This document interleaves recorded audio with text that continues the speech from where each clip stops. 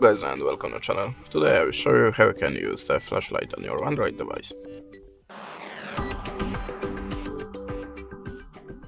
So in the first step you have to unlock the device to the home screen and slide to the from the up to the down. Now expand this menu.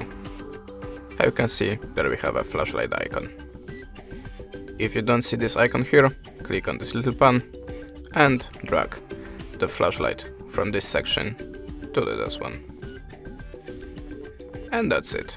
Thanks for the watching, leave us a subscribe, comment, and goodbye.